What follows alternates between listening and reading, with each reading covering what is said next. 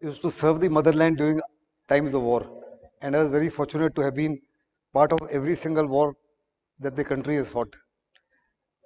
When the 1971 war, when the 1971 war took place, I was a commissioned officer with just six years of service. I was a young captain at that point of time. And what I'm going to talk to you, I will take you through to a virtual war as seen by me at that point of time and the quality of life that I led during that war. Since you so, told me to speak on quality of life of a, or the life of a soldier during war, I wish to tell you that in war, the quality of life is dependent on very many factors. Firstly, it depends on which service are you serving with at that point of time. Are you part of the Air Force, the Navy or the Army? For example, you could be serving as a paratrooper with the Army or you could be part of a amphibian force with the Navy or you could be a pilot serving from the Army serving with the Air Force. I was a pilot with the of the Army serving with the Air Force. Secondly, given the huge climatic and terrain differences in our country, it also depends on which theater you are operating at that point of time the western, the northern, or the eastern theater. Then within the theater, the area of operations where you are actually focused on. For example, the life in deserts of Rajasthan is lot different from life in the plains of Punjab or hills of Jammu and Kashmir. And if you are operating in the treacherous mountains of the Himalayas, quality of life is again way different from what happens in the leech-laden forests of northeast or the riverine terrain of Bangladesh. Unfortunately, in the modern day war, more often than not, throughout the war, you don't even see where the enemy is. Because those, unlike the past, you have no idea where the enemy is. This statement notwithstanding, all of us, irrespective of who we are, are all scared at the commencement of the war. Then Field Marshal Manekshaw said, whoever is not scared of death is either a liar or he must be a Gurkha. I, the scare is relative to where your location is and the task that you've been assigned to. For example, if you're part of the offensive formation, you'll be more scared. If you're part of the defensive, lesser scared. And if you're part of the follow-up echelons, you'll be least scared. Another feature of the modern warfare is that even if you may be hundreds of miles away from the battlefield, you may be the first to be taken out. Invariably, the present day wars start with airstrikes and missile strikes at air bases at railway stations, which are important communication centers, railroad complexes, formation headquarters, army headquarters, corps headquarters, division headquarters, brigade headquarters, petroleum depots, ammunition depots, and vital bridges which are essential for your maintenance supply lines, as well as assets like your nuclear power plants.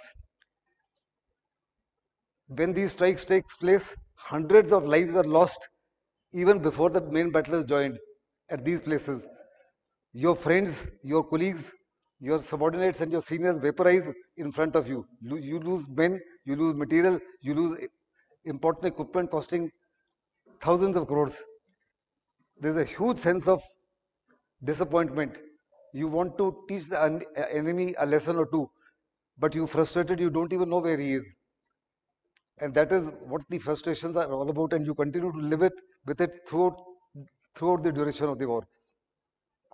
With this backdrop, I wish to tell you that I had just finished my helicopter training conversion from a fixed wing aircraft to a helicopter at Helicopter Training School, Jodhpur, and I had received my posting orders to Air OP Squadron in Bagdogra, which was in the Eastern Air Command area. While we were undergoing training at Jodhpur, we could clearly see the war coming. Every day during breaks, like here you had the tea break, all our tea breaks and all our small breaks were spent on digging our individual air defense trenches. Because every day while we were undergoing training, air air raid sirens would suddenly go off, training had to be abandoned and you had to jump, uh, jump for cover. If you were airborne, the air traffic control directed you to immediately land the helicopter, get off the runway and run for the nearest trench. So the huge amount of tensions that were taking place on a daily basis. On by the end of my course, my wife delivered a baby girl, and by mid-October, I was in my squadron in Bagdogra. So air defenses and ground defenses were fully strengthened. By now, air combat patrols were being flown on daily basis. And these air combat patrols were fully armed. Operational readiness platforms were being made, made at a status of 5 minutes notice, which means every day from dawn to dusk, all pilots were seated in their respective machines, whether it was helicopter or aircraft. The aircraft and the helicopter was fully started up, you were buckled up, and you were ready to get airborne within 3 to 5 minutes of a warning being sounded. So imagine the type of tension that we were going through. Everybody was tense up, everybody was excited, there was nervous, there was fear of the unknown. And fear of the unknown was actually beginning to become very visible on some people because the reactions of each was different from the other.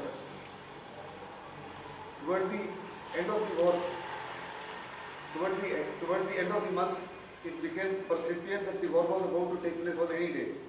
By 1st November, all preparations had reached the highest level of preparedness. We had shifted from our respective homes. Our homes became our two room and our hangars. Hangars and homes became our, became our second homes. Our breakfast, our evolutions, our, uh, our lunch, dinner were all served in the hangars. The entire day was spent in carrying out preparations for every possible contingency. Mission leaders were nominated, we rehearsed and re-rehearsed each and every possibility till it became part and parcel of us. By 3rd November, there was huge tension. Mrs. Indira Gandhi was in Calcutta along with all the three service chiefs.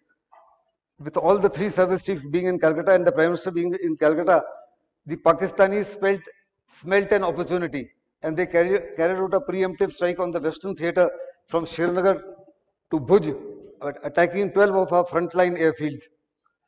This notwithstanding, as far as the Eastern Air Theatre was concerned, we could do nothing about it because we had not yet officially joined the war.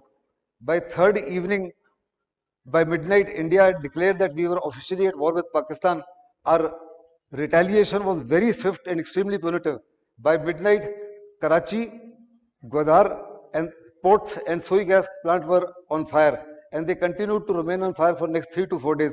Once the Pakistanis doused those fires, we repeated the attack on night 7th, 8th until the end of the war. Karachi was burning, Gwadar was burning and the Sui gas plant kept burning. As far as the eastern theatre was concerned, I will not talk differently for the army operation because the Air Force could do nothing. We had no capability whatsoever to undertake night flying as far as Eastern Theatre was concerned, either by the helicopter or by the air crew. So third night was spent in extreme tension. Not a second of sleep was available to anybody. Throughout the 14 days war, sleep was a luxury. Rest was a luxury. You had to scrounge time to sleep. 90% of the time you were standing and sleeping. We were standing and resting. You had no idea where your next meal is going to be. All that notwithstanding, on the morning of 4th of November,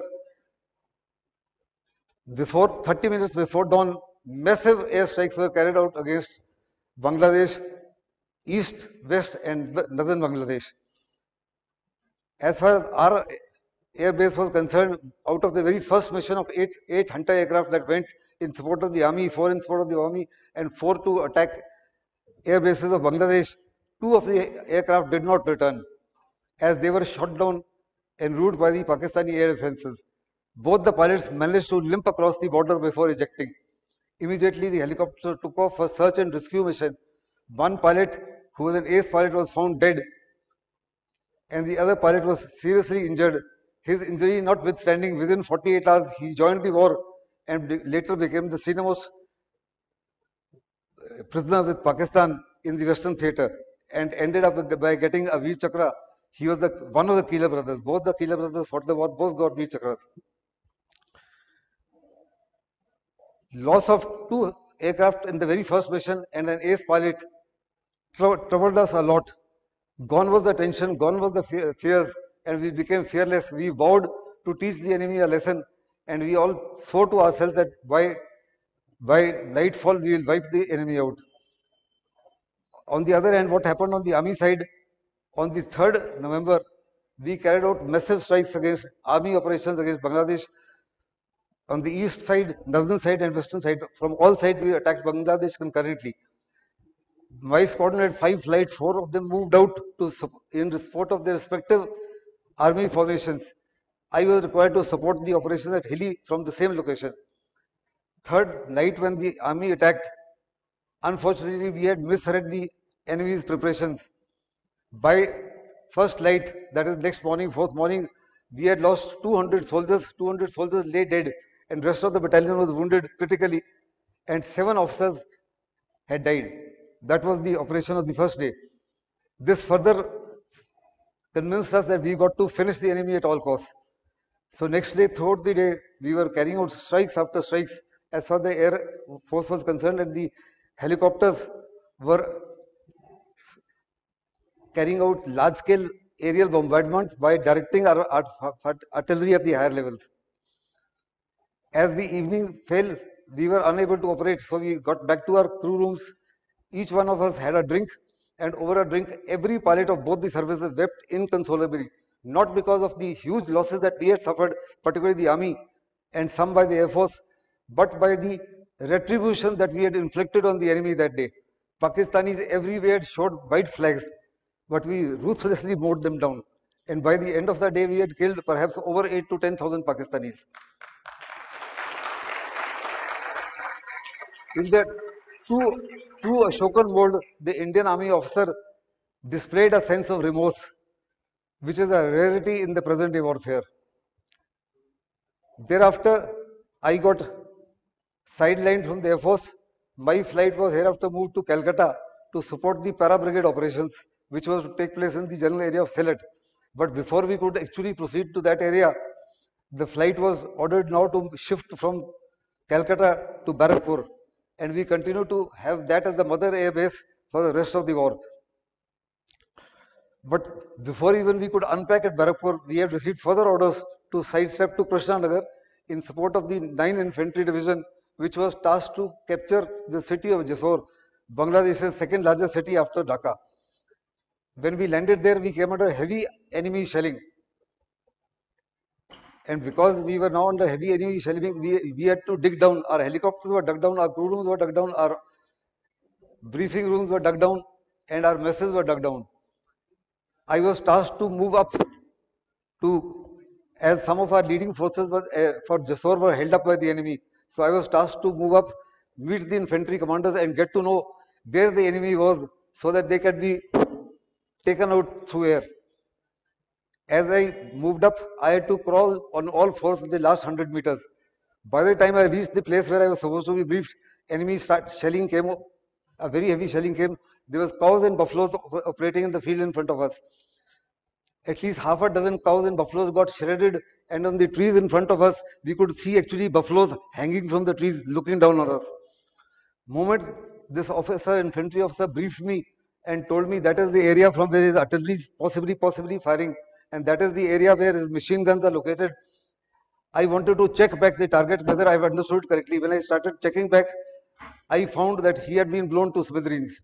An enemy shell had fallen right outside the trench that we were standing and it took away his head. My helper who was carrying my radio set, he was also blown apart. God was kind to me that I was alive. I managed to crawl back about a couple of hundred meters, get back into my helicopter and over the next one hour, I neutralized all locations of the enemy artillery as well as the machine guns. And we managed to, in the next three to four days, we were able to capture Jessore. By 10th or 11th day of the war, Jessore had fallen. And as far as Hilli operations were concerned, series of air strikes and ground attacks, none of them succeeded at Hilli because the enemy was in far greater strength like in Kargil than what had been anticipated. Then it was decided everywhere in Bangladesh, wherever there was stiff opposition, put a holding force and keep moving towards Dhaka huge amount of psychological warfare was now brought in to play to defeat the morale and the motivation of the Pakistani army.